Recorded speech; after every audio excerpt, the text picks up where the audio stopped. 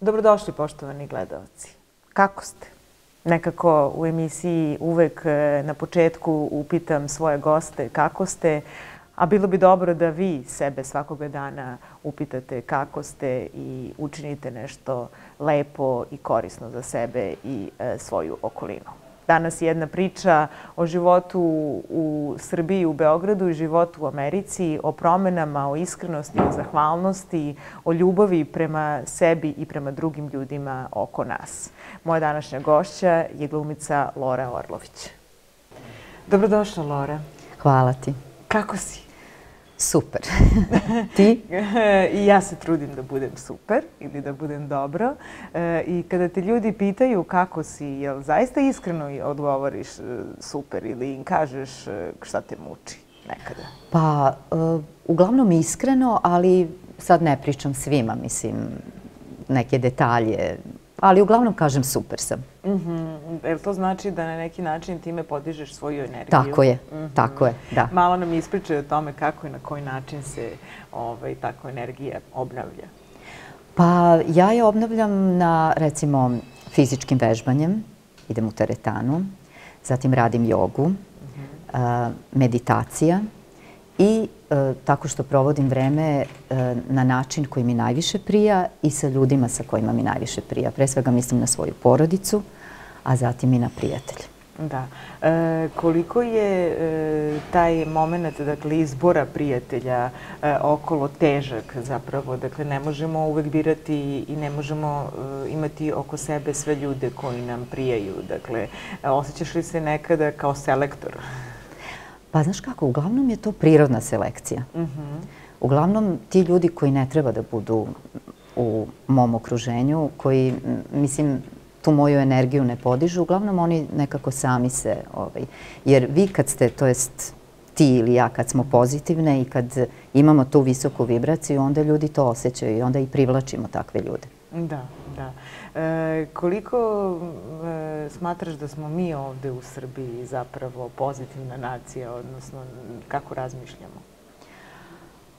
Pa, zavisi od, od čoveka do čoveka, ali ono što ja osjećam, recimo, kad izađem na ulicu, kad prošetam, vratim se kao sa nekim ono, džakom na, na, na ramenima i na mhm, glavi. Mhm. Kao da je ta energija dosta opala. Mhm. U odnosu na koje godine? Na ono kako je nekad bilo, pre recimo 10-20 godina. Mhm, mhm. Ti si u to vreme bila ovdje ili si živjela u Americi? Pa, e, živjela sam u Americi, e, ali sam dolazila. Mhm. I tačno sam osjećala da je ta energija, mislim, sad kad uporedim, bilo je potpuno drugačije nego sada. Da, da. E, kako je došlo do tvog preseljenja u Ameriku? Ti si imala vrlo perspektivnu karijeru i dakle, to nije bio sam početak e, karijere, već za huktavanje. Već, dakle, ovaj, I dolazi moment kada ti odlaziš tamo. Da. Šta se desilo? I... pa eto, ja recimo nikad nisam maštala u Americi. Mene nikad Amerika nije privlačila kao wow, želim tamo da odem, da vidim, da živim i tako dalje. Ali eto, desilo se da je moj suprug dobio poziv za postdiplomske studije, kasnije je dobio i posao tamo i onda smo mi, znači naša čerka je tad imala nepune tri godine i mi smo se spakovali i otišli u Ameriku. Mhm. To je za mene prvo bilo potpuno, onako ja sam bila očajna, kao šta ću ja. Da, koliko ti bilo teško da doneseš tu odluku s obzirom na posao ovdje? Mnogo mi je bilo teško. Prvo zato što sam ja tada već napravila pauzu zbog rođenja svoje čerke i onda je taman trebalo da se vratim u posao i stigao taj poziv za Ameriku. I prvo bilo mi je kao, wow, sad idem negde, potpuno neki drugi svet, neka druga kultura. Nisam, ba, baš, sam se, baš sam bila uplašena. Međutim, imala sam, recimo, mama mi je moja tada rekla, ovaj, nemaš šta da izgubiš. Znači, mhm. uvek imaš gde da se vratiš. Bolje ti je da odeš da probaš, da vidiš šta je to, pa ako ti se ne sviđa, možeš. I onda je to meni bio vetar u leđa. Uh -huh, uh -huh. I onda sam otišla i nisam pogrešila, nekajem se, zaista nam je bilo divno tamo ti početci su možda bili malo teški jer mislim moje znanje jezika je bilo prilično ono školsko znanje mhm. i trebalo je vremena da ja uđem u taj jezik i da vidim šta ću sa sobom, pre svega šta ću da radim. Ja sam znači, glumica, želela bih da nastavim time da se bavim. Anđela je bila jako mala, ali nekako se sve to ovaj, složilo i ja sam polako ušla u taj jezik, polako su se otvorile stvari.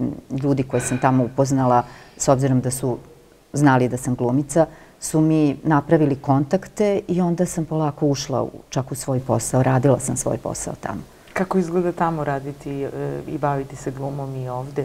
kada se uporedi? Pa divno, nekako meni je taj osjećaj kao glumiš na, na engleskom, na skroz, skroz drugom jeziku, je bio još veća sloboda. Uh -huh, uh -huh. I bilo mi je baš lepo. Znači, um, ta prijateljica me je odvela kod Mike Lemona, koji je uh, casting direktor i agent. I onda sam ja kod njega polagala audiciju da on prvo vidi da li želi da bude moj agent. I ta audicija je bila jako prijatno iskustvo. Znači, uh, sedeli smo ovako, on i ja.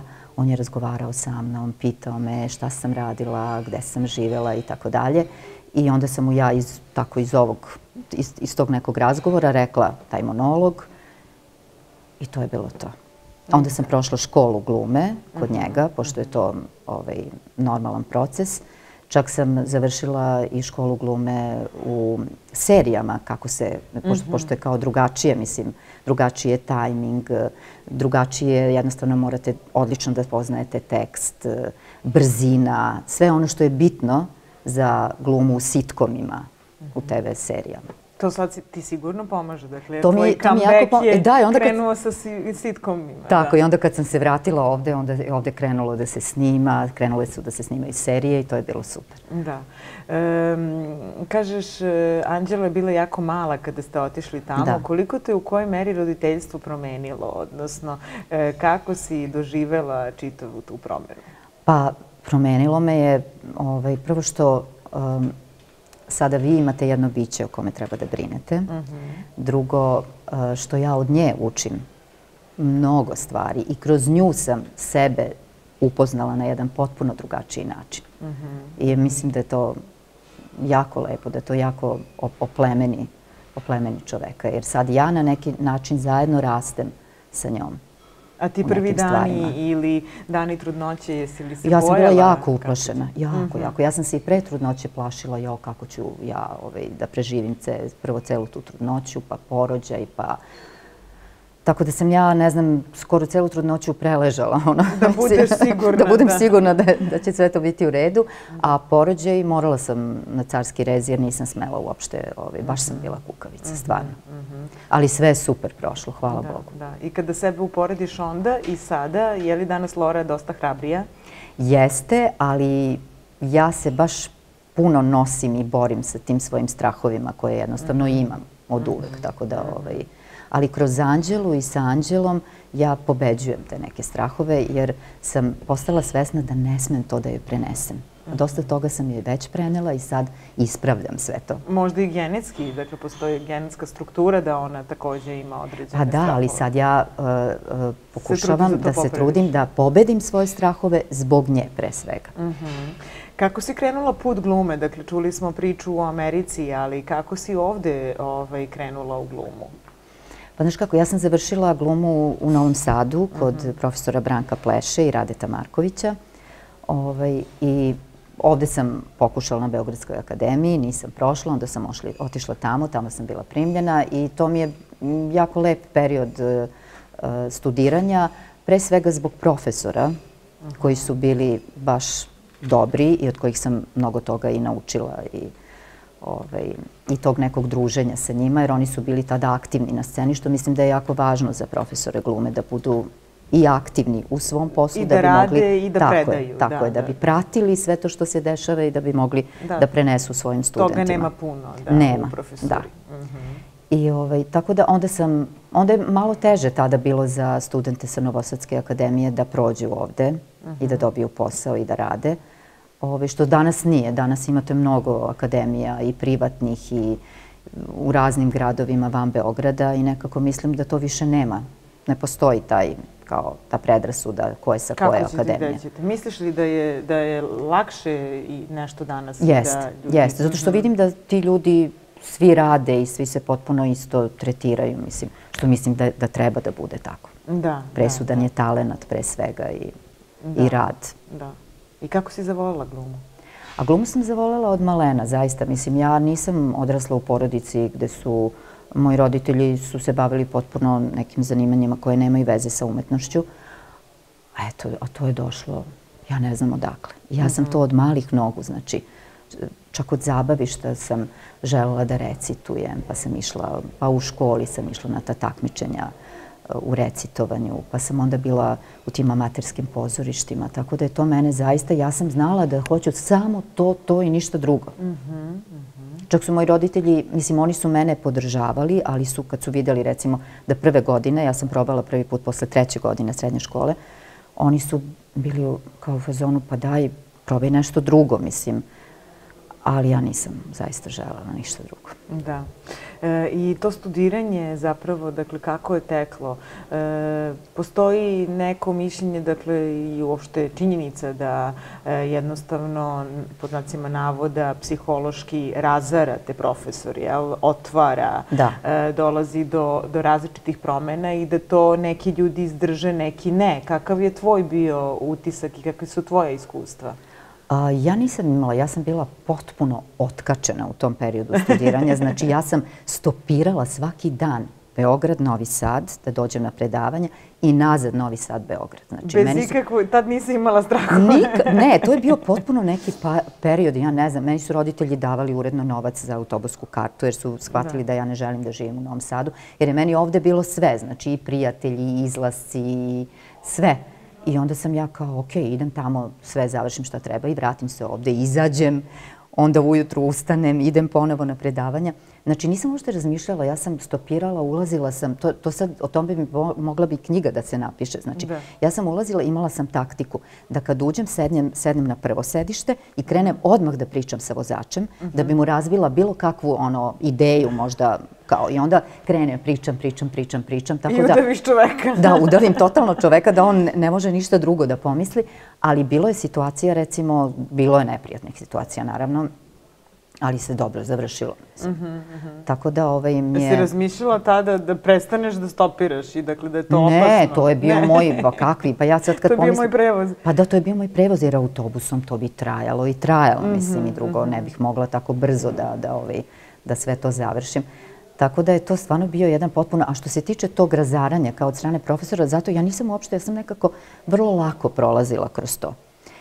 Mene je profesor zbog toga što sam mislim, ja sam dolazila uredno na njegova predavanja, ali nisam ostajala posle da vežbam sa svojim mm -hmm. klasićima. Mm -hmm. Oni su baš bili onako radni, imali su te ove, radne navike, disciplinu. Ja sam bila u fazonu, ok, završim sve to i sad palim nazad u Beograd. I sad oni su svaki put kad kao ona nije bila tu i onda, sam, onda je on mene kažnjavao nekim malim ulogama ili ne znam, jednostavno da bi me kao naučio Da, ali, da, ostaneš. Da, da. Ali nije uspeo. Nije, nije vredalo. Čak mi je u jednom trenutku rekao, imali smo, da, bilo je, bio je taj trenutak kad je svako od nas kao stao ispred klase i svi ostali e, su govorili šta je recimo na, da prosto osvestiš, da postaneš, postaneš svestan svog tela, uh stvari koje treba recimo kostimom da prikriješ ili da otkriješ i tako dalje.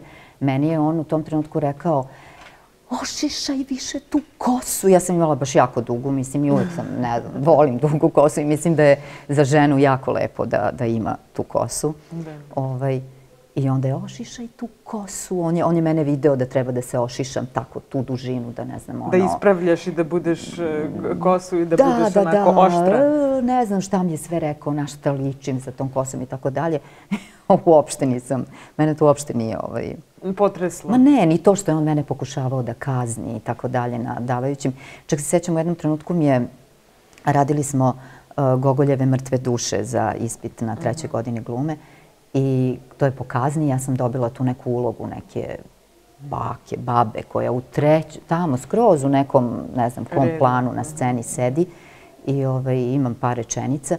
Ja sam onda sebi kao, ok, kao sedim, nije mene to ništa pogodilo, ali kao, ok, da ja sad, da iskoristim to. Znači, mhm. ja sam tamo negde u trećem planu i sad ja sam smislila šta ta baba radi. E, smislila sam ceo zadatak sebi i u jednom trenutku oni svi ispred, znači glume sebi u jednom trenutku samo ono, on, on gađa nekom knjigom ili ne znam. prekini, ko te naučio da kradeš scenu u njima kao... Ja kažem, ne, ja to obrnute ne kradem, ja njima scenu, nego oni moraju se potrude da budu bolji, da ne bi vaša pažnja bila na meni. Mislim, kakve ja veze imam s tim. Tako da, sam, u stvari, i tada sam znala da uh, kao glumac ti moraš da radiš najbolje što možeš. Znači, ako prihvatiš ulogu koja je epizoda, koja je, uh nema puno teksta i tako dalje, uradi je kao da radiš Šekspira, kao da radiš ne znam kakvu ulogu. Da, tako da. i u životu treba, ja mislim, ja bar tako sad radim na sebi. Nisam ja savršena i nije svaki trenutak, nije svakog trenutka tako, ali se trudim da iskoristim svaki trenutak u svom životu što bolje mogu. Znači, da se ne predajem nekim crnim mislima, nekim svuda oko nas su razne priče koje nisu lepe i da nađem u svakom čoveku nešto lepo. Mm -hmm. I da mu to kažem mm -hmm. kad ima prilike. Kako reaguju ljudi? Pa lepo reaguju, zato što ljudi uh, prosto vole, svi mi volimo i da nam se kaže nešto lepo i da ljudi budu dobri prema nama i da nas uvažavaju i da prosto ljudi, čak i oni najgori ljudi, ne mislim, ja ne mislim da su najgori, nego da u nekom najgorem trenutku u svom životu oni se ili zbune kad, im, kad im se tako obratite, kad im kažete nešto lepo ili prosto ne znaju šta će s tim. Ali vidite da im je lepo i vidite da ste za njih uradili nešto lepo. Da im prije kompliment. Tako je. E, jesi li ti sada kada govorimo o vaspitanju, jesi li ti strog roditelj? Kakav si roditelj? Ne, ne. Ni moj muž ni ja nismo strogi roditelji. Mi nismo od onih roditelja koji, čak nekad mislim da možda je to pogrešno u nekom Nismo, ne postavljamo granice, ne uslovljavamo, ne, ništa od toga ne radimo. Mi smo prosto Anđelu vaspitali u nekoj slobodi, u smislu da ona prati sebe. Jer dosta toga sam ja i čitala i prosto deca nam nisu data kao nešto naše, nešto što mi treba da pravimo, nego smo mi ti koji samo treba da budemo tu kao neka potpora mhm. njima. Mhm. A misliš li da možda nepostavljanje određenih granica predstavlja neku vrstu opasnosti? Pa uh, mi, smo, mi sa Anđelom mnogo razgovaramo, otvoreno razgovaramo i ona ima puno poverenja u nas kao i mi u nju.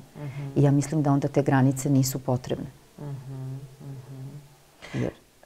Izvojim. Ne, ne, ne, jer to je nešto što je onda, to, to, to, to uzemno poverenje, ta, ti uzemni razgovori su zapravo nešto što detetu daje potporu i podršku, ja mislim. Da. E, često, dakle, danas i uopšte smo prisutni i, dakle, svedočimo glumačkim parovima. Međutim, ovaj, tvoj suprug je iz potpuno druge branše. Kako ste se upoznali? Kako ste se zavoljeli? A mi smo se upoznali na koncertu, pošto je on rock kritičar, muzičar i tako dalje. Ovaj, tada je, ja mislim, to je bilo nešto glumci pevaju, ne znam tačno kako se to mhm, zvalo. Mhm. Ovaj, I uh, ja sam tada radila um, Petra Pana predstavu, mhm. igrala sam Vendi. I Rade Stojiković, koji je producent, koji, koji je tada radio u ovaj, pozorištu Duško Radović, on je bio organizator uh, tog koncerta na kome pevaju glumci, novinari i svi oni koji nisu pevači. Uh -huh. ovaj, I onda je on mene pitao, e, kao, ajde, ili bi ti pevala? Ja kažem, a šta je to?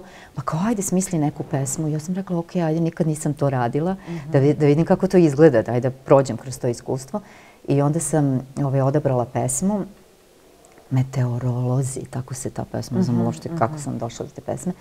I, ovaj, I otišla sam na probu i došla sam na probu i moj muž, Aleksandar Žikić je tada bio na sceni, on je isto pevao neku pesmu. Mhm. I ja sam uh, pitala kao, ko je ovo? Kao, pa, kao, pored mene je bio reditelj, jedan koji je rekao, ma daj, kao ne znaš ko je to, on je tada, mislim, bio je jako poznat već tada ovaj, u toj svojoj oblasti. Ja sam rekao, ne, stvarno ne znam ko je, ma daj, kao, i, čovjek je mislio da se ja zezam, da, da, da. I, ovaj, I onda smo mi posle toga e, na sljedećoj probi prosto nekako se desilo. Mm -hmm. Eto, spojili smo se i nismo se odvajali. Mm -hmm. Šta te je e, privuklo? Šta je ono što u odnosu dvoje ljudi smatraš da je najvažnije? E, to što se desilo između nas, to je neka magija. Ja ne znam sada, ni da da ja ne znam da kažem šta je to. hemije, To je da. prosto bilo i to je i ja sam toliko zahvalna na Bogu da sam doživjela takvu ljubav, istinsku ljubav, koja Mhm. mislim je i u braku i, i sad kad imamo dete i to je zaista nešto što je prosto, to je, to ne, to ne prolazi, to traje. Mhm, mhm. I, I ja mislim da je to predivno, zaista. Da. I šta bi smatrala da je najvažnije u jednom odnosu? Najvažnije je pa pre svega ta ljubav, znači to da i to da ti um, podržavaš tog čoveka, voliš ga, prihvataš ga, ceniš ga. Da, to je negde najvažnije. Znači taj, to, to međusobno poverenje, to međusobno podržavanje. On mene zaista mnogo podržava u mom poslu. Uh, on je čak napisao i ovaj, uh, nekoliko predstava za mene. Znači sad smo napisali i TV seriju i uh, Divno. baš imam veliku podršku u svakom smislu i kao žena i kao majka i kao glumica. Divno. Mi smo se dogovorili da ovaj intervju radimo na mestu koje tebi posebno prija, a Da. to je hotel i restoran. Jeste. E, I negde imaš te rituale, dakle, kada sa e, svojim ocem dolaziš e, ovde. Kakav je tvoj otac? Kako si odrastao? Na čemu si mu najzahvalnija? Pa najzahvalnija sam mu na ovome što sada prolazim sa njim. Znači, kad ste mladi, kad ste u pubertetu i tako dalje, ne bavite se mnogo svojim roditeljima, ni ne osjećate ih, ni prosto tek kasnije... ja Gledate mislim- sebe negde Gle- više. da. da. Prosto deca su sebična, mislim, u tom periodu, što je potpuno normalno, jer im gledaju svoj put, gde će, šta će. Tek kasnije e, sam ja zapravo uspostavila taj odnos pravi, na pravi način sa mamom i sa tatom, a sa mamom sam bila mnogo bliža. Bile smo prijateljice, bile smo, mama mi je bila uvek najveća podrška i tako dalje. Sa tatom sam imala tu neku distancu koju sada prevazilazimo i e, ti naši rituali dolaska ovde na Eh, palačinke, znači to je ili jednom nedeljno ili dva puta nedeljno, to je neprocenjivo. Ti razgovori, ta prosto um, ta ljubav koju sada pokazujemo obostrano jedno drugom bez ikakve zadrške. E, koliko misliš da je to u odnosu, dakle, otac čerka ili otac sin teško? Dakle, nekako se čini mi u patrijarhalnom društvu da i dalje živimo i da negde postoji ta neka, kako da kažemo, odstupnica u odnosu na oca i da Jest. se malo, mislim, čerki i e, sinova obraća ocu u smislu drugara. Tako je. I moj otac jeste patrijarhalan i to je ono što je meni smetalo da uspostavim taj bliži kontakt sa njim kad sam bila mlađa. A sada e, mnogo mi je u tom približavanju tati pomogla Anđela. Zato što je ona ta koja ima taj potpuno e, toliko blizak odnos sa mojim tatom. Znači, i to, ja sam tek e, od kad sam rodila Anđelu i od kad je ona sa mojim tatom uspostavila taj odnos, ja sam počela da grlim svog tatu, da mu govorim da ga volim. Nikad mu ranije to nisam na taj način pokazivala. Da, da. I sad, zahvaljujući Anđeli, mi smo to prevazišli i moj tata je to prihvatio i sada i on isto to. Da, znači možemo naučiti druge Možemo, da da. iskazuju emocije Tako, ja- ukoliko oni nisu naučeni Da, i ne znaju. apsolutno da. I ja sam, i posebno, i ako prvi to pokažemo i prvi pokrenemo, ja sam zahvalna na tome. Da, Da smo mi prosto sve te barijere sklonili i da je sada to taj odnos čerke i tate kakav zapravo treba da bude. Kakva je bila mama, sem što je bila drugarica? Pa bila je nežna, bila je jako vesela, jako pozitivna. Znači, kod nje nije bilo, idemo, problem, ok, sklanjamo taj problem, idemo dalje, gledamo šta je pozitivno. Bila je, znači, vedrog duha, otvorena, iskrena, puna ljubavi, Da. onako, baš prava mama i pravi prijatelj. Ti imaš i sestru, stariju ili Da. mlađu? Starija.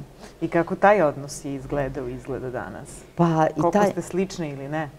pa drugačije smo, ali smo vrlo bliske. Mhm, I na tom odnosu isto ja radim dosta. Tako da i to je isto odnos koji, koji stalno, na kome stalno mora da se radi, bez obzira na tu bliskost i na iskrenost. Da, Ali mi je ona najbliža, da. ona mi je najbolji prijatelj. Divno. E, pomenuli smo Ameriku, vaš odlazak tamo i onda dolazi trenutak kada se vraćate ovdje u Srbiju. Znači, neke stvari su se izdešavale umeđu vremenu, neki novi glumci su došli, e, neke nove e, serije i filmovi su završeni.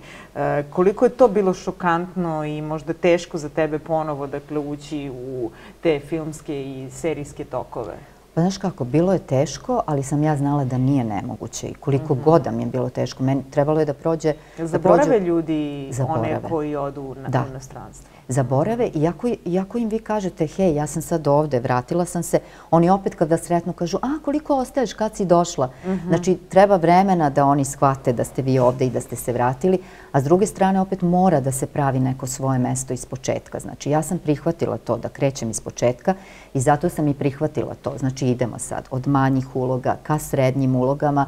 Znači, bilo je teško prvo uopšte doći do tih manjih uloga, probiti. Mhm. Ali sada znam da da je to krenulo i da ide ka, ka tom nečem. Da, da, da, zadovoljna sam. Jesam, zadovoljna sam, da, i ušla sam, kako bih rekla, u te, mm, sada među te nove glumce, mlade glumce, uspostavila sam lep kontakt sa njima, ima puno finih, ja kažem fine dece koje su baš ono fina i jako je lepo raditi sa njima i ja volim tu energiju tih mladih ljudi, tako da baš sam srećena, mislim. Da, da. E, ono što prati glumački posao jeste, ne mora da znači, ali ovaj, da novac nije, nije pre svega primaran za glumce, ali glumci ne zarađuju onoliko koliko, na primjer, u Americi zarađuju. Da. Kakav je tvoj odnos e, prema novcu? U kom meri si zadovoljna ovde kako to funkcioniše? Jo, Bože, moj odnos prema novcu je uvek bio onako Ne postoji. Ne postoji. Znači, kad ga imam, ja ga trošim, delim. Kad nemam, ja se onako primirim i čekam da taj novac stigne. Prosto nikad nisam bila... Znam da je on... Volela bih da ga imam mnogo. Pre svega zato da bih mogla da uživam u nekim lepim stvarima, da bih mogla da dam onima kojima treba, ali zaista iskreno to mislim. Znači, i da ga trošim na, te, na, na ta neka prosto da na putovanja, na udobnost života, jer mislim da je to ono što čini život lepim. Da, da. A kako ovdje glumci žive po tebi?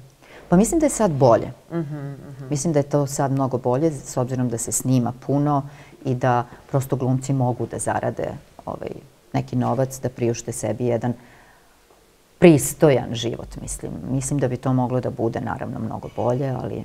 Uvek može bolje. Uvek može bolje, da. da. E, pomenula si taj humani ili humanitarni aspekt. Da. U kojoj meri si zaista takva i kako i na koji način drugim ljudima pomažeš? Pa jako volim da pomažem drugim ljudima. E, ponekad i na svoju štetu. Ovaj, nekad se čak, e, da upotrebim taj izraz, trpam tamo gde ne treba i, ovaj, i možda, možda i previše. Ali prosto sam baš brižna i baš imam tu empatiju u sebi i ovaj i brinem o drugim ljudima, volim da, da, da pomognem uvek kad mogu i koliko god mogu. Slavimo jubilej 30 godina Poliklinike Diva. Uklonite mladeže i bradavice, izlečite akne i ožiljke, podmladite se u dermatološkoj ustanovi od poverenja. Moj izbor je Poliklinika Diva zbog stručnosti i zasluženog poverenja.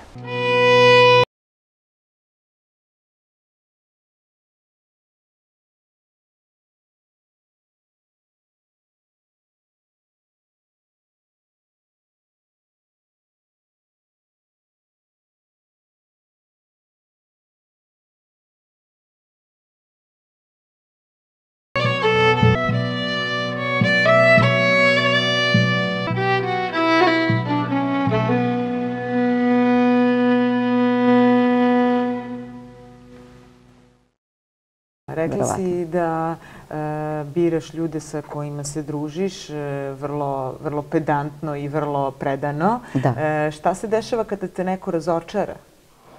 Pa ništa. Ranije, sam, ranije me to mnogo više bolelo i mnogo više uznemiravalo nego sada. A sada prosto kažem, ok, to nema veze sa mnom. Mhm. To ima veze sa tim čovekom. I onda probam da shvatim zašto je to taj čovek uradio. Da li je njemu potrebna pomoć, da li je prosto ne, ne, ne povređuje me više to. Mm -hmm. shvatila sam, uh, sad to gledam iz jednog potpuno šireg ugla. To znači da lakše praštaš nego što se Mnogo praštala. lakše i, ovaj, i volim to. Mislim da je to praštanje baš jedna lepa stvar. Kako praštaš tako lako? Pa Šta praštam bi prosto... rekla našim gledalcima? Šta bi rekla našim Pa gledalcima? praštam zato što mislim da uh, praštam iz, iz te ljubavi.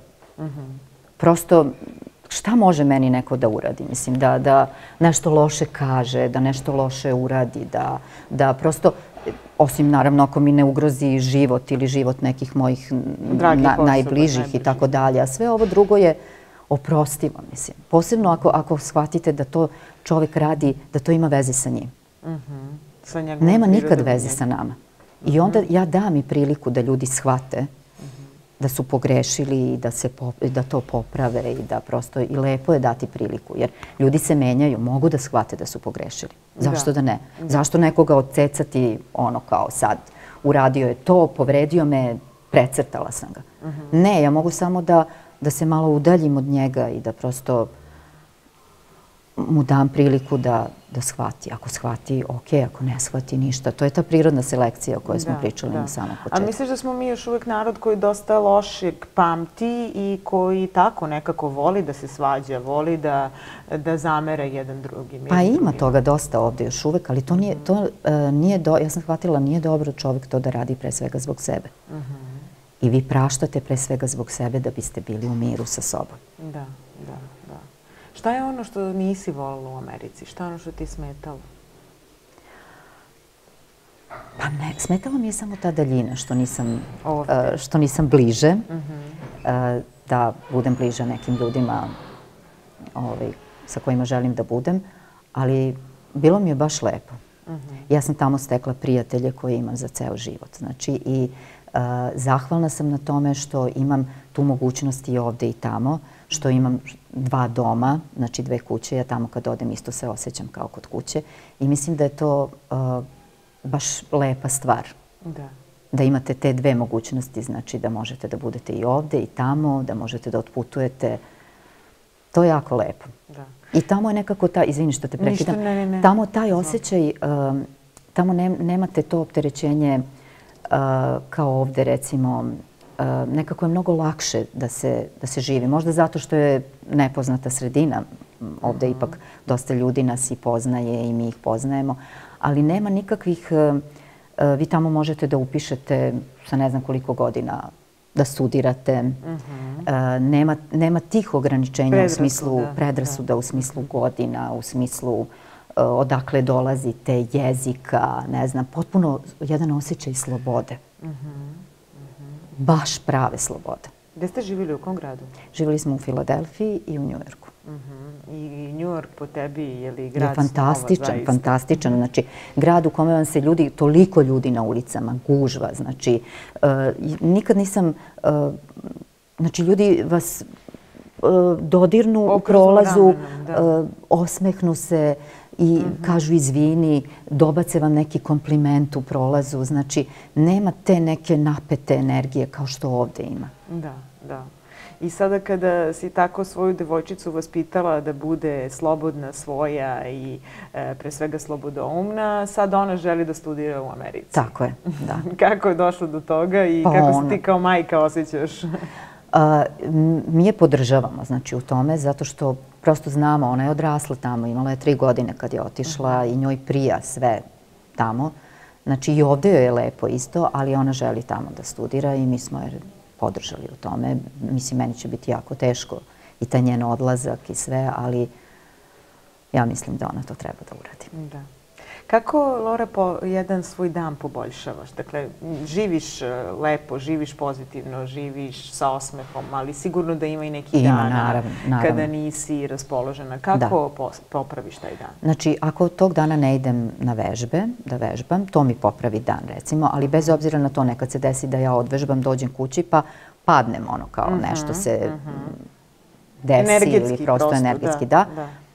Ja onda se obučem, pošto živim ovde blizu Knez Mihajlove, obučem se, popnem se uz kralja Petra, prošetam, usput popričam sa svim tim ljudima iz mog kraja koji su mi zaista ono blagoslov, znači od kasirke u Maksiju, od prodavca u prodavnici cipela, od, ne znam, Um, žene koje radi u pekari i tako dalje, usput sretnem komšije, sa svima njima razmenim nešto i tako dalje, popnem se do Knez Mihajlove. U Knez Mihajlovoj uvek sretnem nekoga i isto popričam, razmenim neke stvari i vratim se kao nova. Divno. Tako da je to moj jedan od načina. Da. E, ono što je jako lepo također i što nije, kako da kažem, sada je sve popularnije e, u, u našoj zemlji, ali dakle, taj zdrav način života koji živiš i da. E, negde ovaj, to također širiš ljudima. Dakle, Jest. počeo od ishrane preko kvantne medicine da. do e, nekih vežbi i dakle, načina življenja. E, kako, kako vidiš e, taj moment, dakle koliko smo puni predrasuda sa te strane i koliko prihvatamo, koliko si ti kao takva čudna ljudima? Pa, jesam, imam ja prijatelje koji kao kvantna medicina, ne, ne, ne, kao ja sam isključivo samo za ono, klasičnu, klasičnu medicinu. Međutim, ovaj, um, meni je fantastičan pokazatelj bilo to kad mm, mom tati nešto nije bilo, znači imao je neki zdravstveni problem i kad sam mu ja ponudila tu mogućnost da ode na pregled ovaj, na kvantnu medicinu, on je rekao ok, otišao je sa mnom kod doktorke Marine i prošao ceo taj pregled, poslušao je sve što, što mu je ona rekla, pridržavao se, znači tog načina ishrane i tako dalje. To je trajalo dve, tri nedelje, što je za njega bilo nezamislivo da recimo izbaci meso. On teo mhm. život ručak bez mesa nije ručak. Znači, da, da. on je uspeo to da, ovaj, da nju posluša i uh, znači, taj njegov zdravstveni problem je, se, je bio rešen. Uh I od tada on potpuno drugačije se hrani, znači naravno i dalje jede meso, ali su to mnogo manje, manje količine. da. da. I, e, i, danas, i dan danas se pridržava nekih e, stvari koje je naučio ovaj, kroz taj proces tih dve, tri nedelje koliko je mhm. trebalo. Znači, on je znači, čovek koji ima zaista ono, puno godina i eto. Da. Znači da je to, znači da čak i neko sa toliko godina i sa iskustvom koje je mnogo veće može da, da ovaj, prihvati nešto novo i nešto što je vrlo objašnjivo i vrlo korisno. A misliš da mi kao kolektivno, kao nacija ćemo prihvatiti e, te delove medicine, odnosno ona nije i priznata je, je li tako? Jeste priznata, da, da. Medicina, ali ljudi se još uvijek plaše promene i plaše se nepoznatog. Da. E, dakle, tvoj otac sa toliko godina je uspao iz poverenja prema tebi, da. ali ovaj, koliko mi smo sposobni da prihvatimo neku promenu, to je recimo potpuno različito u odnosu na Ameriku, verujem. Dakle, tamo ljudi lakše, lakše promene mnogo lakše. A ne znam zašto ljudi imaju to, ovaj, taj odnos. Pa ništa ti neće biti ako probaš, mislim. Da. To čak kvantna medicina ne isključuje uopšte ovaj, ovu klasičnu medicinu. Znači, da. ti možeš i uz sve to možeš i da piješ te neke lekove i tako dalje ako se plašiš dok ne vidiš da li ti ovo pomaže ili ne. Da, da. Kako ti e, promene u životu e, podnosiš? Kako se boriš sa, primjer, sa promenama? U kom smislu? Pa da li ti prija da promena, dobro rekla si, dakle kada si promenila mesto boravka, boravka da je to bilo jako prijatno uh, i okej. Okay. Ali inače, dakle, promene, promena uloge, promena... Ja volim uh, promene. Volim promene i uh, promene, recimo... Se brzo klimatizuješ? Da, jako mm -hmm, brzo. Mm -hmm. I ta, na primjer, promena života u Americi i ovde, meni je to mnogo donelo. Zato što vi kad se izmestite iz te svoje sredine u kojoj ste živeli, vi, se, vi imate susret sa sobom. I to je jako dragoceno. Onda se vratite ponovo u ovu sredinu, opet imate susret sa sobom, opet promene, šta se desilo, kako sam se ja promenila u odnosu na sve ovo ovde, u odnosu na ljude koje poznajem. I promene su dragocene, kroz promene mi rastemo. Zato ja mislim da je za glumca jako važno da ima promene u svom poslu, jer E, ja sam svoje vremeno bila u stalnom angažmanu u pozorištu na terazijama pre nego što sam otišla u Ameriku. Ja sam dala otkaz tamo ili mislim kako je te već bilo ili su oni meni. Mislim svejedno, e, ja sam samo u jednu trenutku želela da prestanem da nisam htjela više da budem tamo u angažmanu jer sam shvatila da... Bez obzira na Ameriku? Ne, ne, to je bilo pre Amerike. Pre, uh -huh. Jer sam shvatila da glumac mora da, da kroz, kroz promenu raste. Vi menjajući, vi igrate danas u ovom ansamblu sa ovim ljudima, sutra radite sa ovom drugom ekipom. I to vas menja, gradi. ispunjava. A nekako na terazijama je bilo sve slično, jel? Pa da, ali e, zamislite sad, ja ne znam, ja ne bih mogla da zamislim ovaj, sad da od početka svoje karijere do kraja svoje karijere provedem u jednom pozorištu. Kao. Mm -hmm. Jeste da se tu menjaju ljudi i tako dalje, ali prosto ne da. znam. U kojim si se pozorištima igrala u Beogradu? Igrala sam u početku prvo u Bošku Buhi, u Dušku Radoviću, znači pozorište na terazijama, Beogradsko dramsko. Nikada nisam igrala u Ateljeu 212 i u Jugoslovenskom dramskom, a volela bih. I uvijek sam se pitala zašto je... To su naše scene, scene koje pripadaju nama glumcima. Zašto uh, su tako zatvorene da su da su samo nekim ljudima dostupne. Mm -hmm. uh, prosto ja bih volela da igram na svim tim scenama, da se, ali... A, si dala sebi odgovor? Si pronašla odgovor zbog čega. Pa nisam. Nisam. Volela bih da, da, da, da pronađem taj odgovor. Mm -hmm. Da, i da zaigraš u tim pozorištima. Pa da. Da. Prosto da se ovde napravi ta sloboda, kao što malo pre pričali o Americi, da nema ograničenja u godinama, da li će vas neko pozvati da igrate u nekom ansamblu ili ne mora to sad da bude stalni angažman. Da li će vas, za, zašto to, Mislim, razumem ja da prednost imaju glumci koji su u stalnom angažmanu i da pre svega oni treba da, da ovaj, budu u tim podelama. Ali zašto se to ne bi malo više otvorilo? Da, malo Bilo bi svima lepše, bilo bi baš bi, ba, da, novom energijom. Da, Što smatraš svojom najvećom pobedom u životu? Pa svojom, šta, pobedom? Hm. Pa to što sam jednostavno shvatila da uh, ne ograniča, da prestanem sa bilo kakvim ograničenjima sebe, svoje ličnosti. Znači, dala sam slobodu da uh, sebi da... Uh, A sad izvim što da prekidam, kako su to ograničenja bila? U smislu kao tog nekog um, ovo mora ovako, ovo mora Aha, onako, ti kalupi kao, kalupi. da, da, da, to. -hmm. Jer svi nas stavljaju u neke kalupe, pre svega te stavljaju kao ženu u kalup, ne znam, ovakav ili onakav, onda kao glumicu te stavljaju. Recimo, ja, e, mnogi ljudi ovde ne znaju da sam ja komičarka. Meni je Branko Pleša na klasi rekao, pa ti si rođena za komediju. Mislim, ja još uvijek se nisam oprobala u komediji. Mhm. Zato što prosto mene verovatno doživljavaju kao nekoga ko je za neke tako romantične komedije, drame i onda, ali ljudi to ne znaju sad. I, i tu sam slobodu dala sebi da van svih tih uh, Eh, institucija, pozorišta i tako dalje, ja eh, biram šta ću da radim. Znači, biram projekte, sama sebi kažem, ok, izaberem što sam uradila sa Nedom Arnerić, uh eh, -huh. Mhm. Elizabetom Đorevskom i Nataša Marković. Mi smo svoje vremeno našle tekst, same smo to producirale i igrale smo u Beogradskom dramskom. Dve predstave smo tako uradile. Znači, uh -huh sve možete da uzmete, možete da uzmete stvari u svoje ruke, možete da uzmete život u svoje ruke. To je ono na što sam ja ponosna. Da, da. Razmišljaš možda o nekoj novoj monodrami? Da, da, radim bi... sada ovaj, baš sa jednom ovaj, koleginicom. Znači, i e, počele smo da smišljamo šta bismo mogli da, ono što želimo da igramo, da postavimo na scenu. Znači, upravo smo u tim nekim razgovorima, a i sa e, Senkom Bulić, koja je Eh, hrvatska, znači zagrebačka rediteljka i glumica, jako cenjena. Sa njom radim eh, tekst Ljubavnice, Elfride Jelinek, koji baš govori o tome, da, o razbijanju predrasuda, o tome, o kalupima u koje stavljaju ženu i kad je u pitanju brak, i kad je u pitanju ljubav, i kad je u pitanju majčinstvo. Znači, to će da bude baš onako vrlo zanimljivo. Da. Šta bi poručila uh, našim gledalcima da je možda najvažnije u svom životu da uh, urade, razmišljaju, promene?